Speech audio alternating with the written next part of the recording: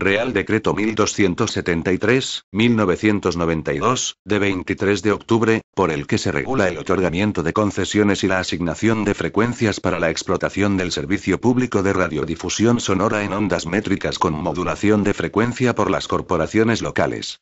La Ley 31, 1987, de 18 de diciembre, de ordenación de las telecomunicaciones, establece en su artículo 26, 3, apartado A, que los servicios de radiodifusión sonora en ondas métricas con modulación de frecuencia podrán ser explotados, en concurrencia, directamente por las administraciones públicas o sus entes públicos con competencia en la materia, conforme a la legislación sobre medios de comunicación social, e indirectamente mediante concesión administrativa por las corporaciones locales.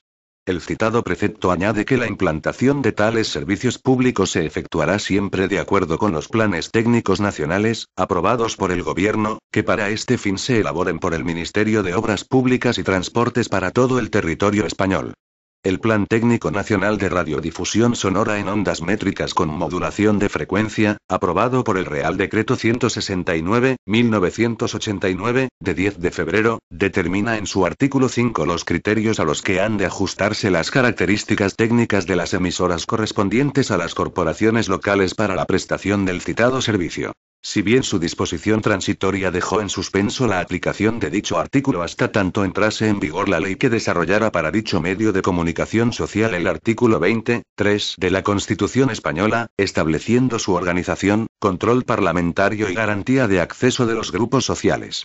La Ley Orgánica 10, 1991, de 8 de abril, de publicidad electoral en emisoras municipales de radiodifusión sonora, así como la Ley 11, 1991, de la misma fecha, de organización y control de las emisoras municipales de radiodifusión sonora, desarrollan el citado precepto constitucional y completan el régimen jurídico de estas emisoras municipales, por lo que solo queda ya por establecer las normas con arreglo a las cuales habrán de otorgarse las concesiones por el gobierno a las corporaciones locales en los casos en que el Estado mantenga la competencia para ello, y asignarse las frecuencias, aprobarse los oportunos proyectos técnicos e inspeccionarse las instalaciones de las emisoras, en todo caso.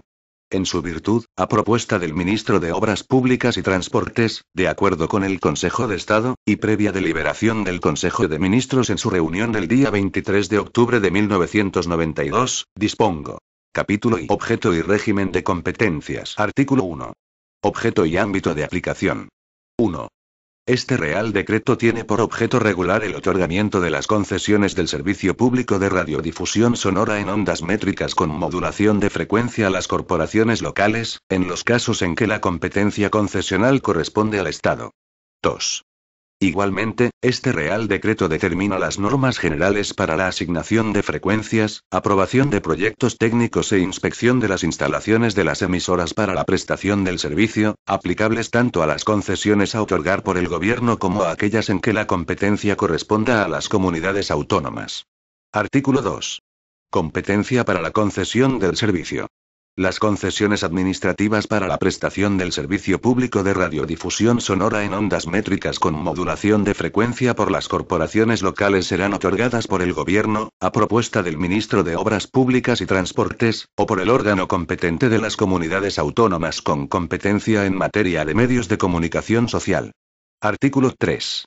Competencia para la asignación de frecuencias y aprobación de las instalaciones la reserva provisional y la asignación de frecuencias, la aprobación de los proyectos técnicos y la inspección de las instalaciones de las emisoras para la prestación del servicio, se realizarán, en todo caso, por el Ministerio de Obras Públicas y Transportes, que la ejercerá por medio de la Dirección General de Telecomunicaciones de la Secretaría General de Comunicaciones, debiendo ajustarse las características técnicas de las emisoras a lo dispuesto en el artículo 5, del Real Decreto 169, 1989, de 10 de febrero, por el que se aprueba el Plan Técnico Nacional de Radiodifusión Sonora en Ondas Métricas con Modulación de Frecuencia.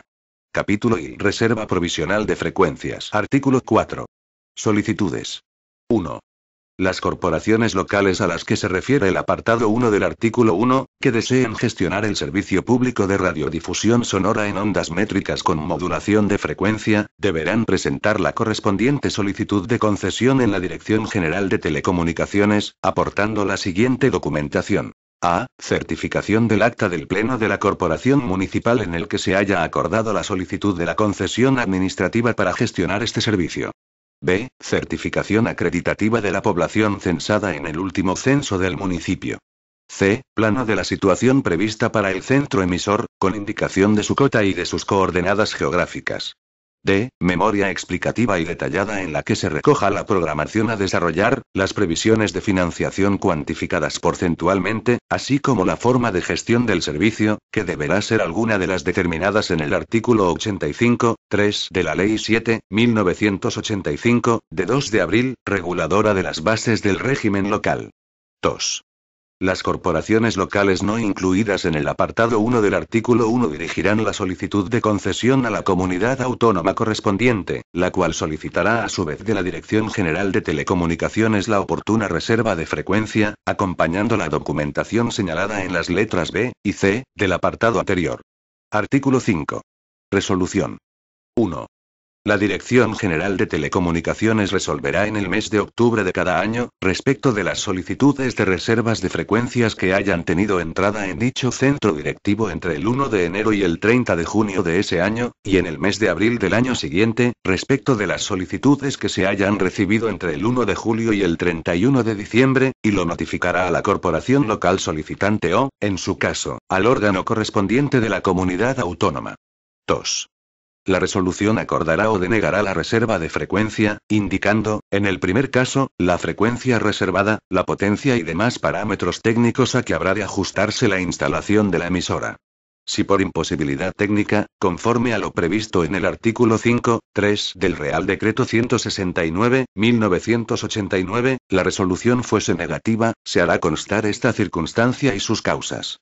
Si por causas técnicas no fuera posible adoptar una resolución, esta podrá posponerse hasta que se realicen los estudios técnicos necesarios, notificando a la corporación local solicitante o, en su caso, al órgano correspondiente de la comunidad autónoma, las razones de la demora y el plazo en el que se adoptará la resolución que proceda.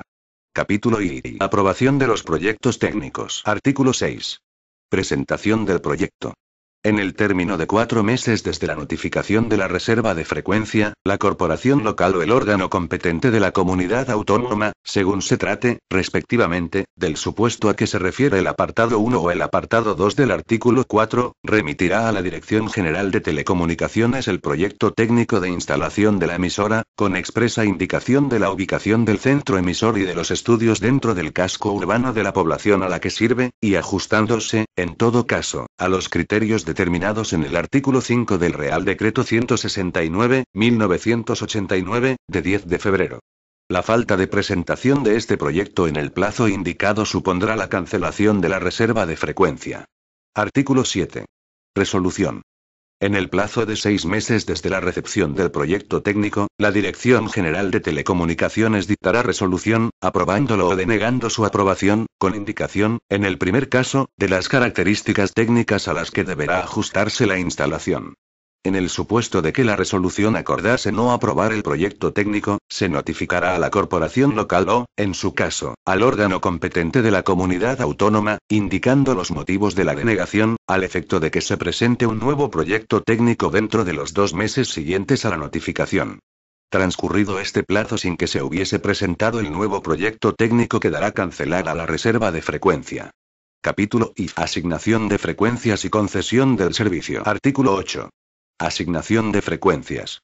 Una vez que sea aprobado el proyecto técnico, la Dirección General de Telecomunicaciones dictará, con sujeción a lo dispuesto en los acuerdos y convenios internacionales de los que España sea parte y a las resoluciones y directrices de los organismos internacionales que sean vinculantes para el Estado español, la correspondiente resolución de asignación de frecuencia, que será notificada a la corporación local o al órgano competente de la comunidad autónoma, según los casos, y a partir de cuyo momento podrá efectuarse la instalación de la emisora.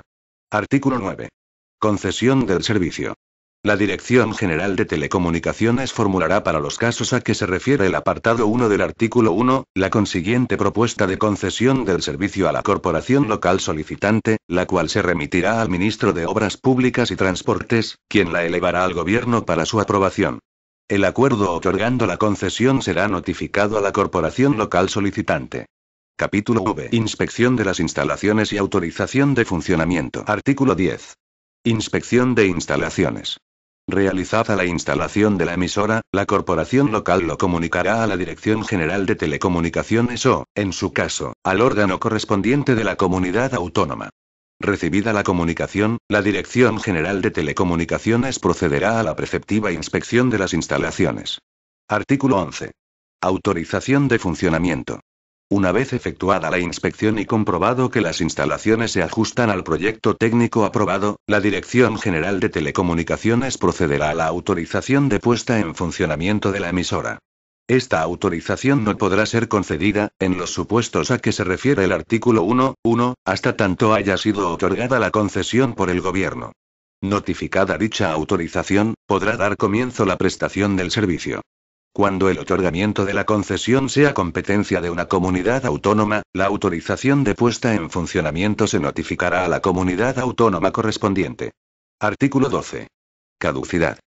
El transcurso de 30 meses desde la notificación de la reserva de frecuencia, a que hace referencia el artículo 5, o desde la notificación prevista en el párrafo segundo del artículo 7, en su caso o de 18 meses desde la notificación de la asignación de frecuencia, a que se refiere el artículo 8, sin que se hayan iniciado las emisiones por la corporación local concesionaria dará lugar a la cancelación de la reserva o de la asignación de frecuencia efectuada, según proceda, y, en su caso, a la caducidad de la concesión otorgada por el gobierno. Capítulo B. Registro y plazo de duración de la concesión. Artículo 13. Registro de las concesiones. Las concesiones otorgadas por el Gobierno al amparo de lo dispuesto en este Real Decreto, serán inscritas en el registro de empresas radiofónicas de la Dirección General de Telecomunicaciones del Ministerio de Obras Públicas y Transportes. Artículo 14. Plazo de la concesión. El plazo de duración de las concesiones a que se refiere el artículo anterior será de 10 años, pudiendo quedar aquel prorrogado, antes de su expiración, por períodos iguales y sucesivos mediante autorización administrativa para cada prórroga, previa solicitud del concesionario con tres meses de antelación a la fecha de extinción del plazo correspondiente. Disposición adicional primera. Régimen de la publicidad electoral. El régimen de las emisoras municipales de radiodifusión sonora en ondas métricas con modulación de frecuencia, en lo que se refiere a la publicidad electoral, es el determinado en la Ley Orgánica 10, 1991, de 8 de abril. Su régimen jurídico básico, en cuanto a su organización y control, es el establecido en la Ley 11, 1991, de 8 de abril. Disposición adicional segunda. Competencias técnicas de la Dirección General de Telecomunicaciones del Ministerio de Obras Públicas y Transportes. La Dirección General de Telecomunicaciones del Ministerio de Obras Públicas y Transportes, ejercerá respecto al servicio público de radiodifusión sonora en ondas métricas con modulación de frecuencia todas las competencias técnicas que le atribuye el Reglamento de Desarrollo de la Ley 31, 1987, de 18 de diciembre, de ordenación de las telecomunicaciones, en relación con el dominio público radioeléctrico, aprobado por el Real Decreto 844, 1989, de 7 de julio. Disposición final primera. Facultades para el desarrollo de lo establecido en el Real Decreto. Se autoriza al ministro de Obras Públicas y Transportes para dictar cuantas disposiciones sean necesarias para la aplicación de este Real Decreto. Disposición final segunda. Entrada en vigor. Este Real Decreto entrará en vigor al día siguiente de su publicación en el Boletín Oficial del Estado. Dado en Madrid a 23 de octubre de 1992. Juan Carlos R. El ministro de Obras Públicas y Transportes, José Borrell Fontelles. Este documento es de carácter informativo y no tiene valor jurídico.